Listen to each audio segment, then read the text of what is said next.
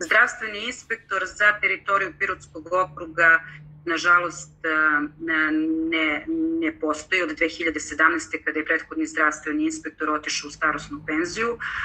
Ja od tog trenutka sa ministarstvom vodim stalnu, da kažem, figurativnu borbu, ali imam i obećanja od prethodnog načelnika za inspekcijski nadzor, odnosno pomoćnika ministra gospodina Paneotovića.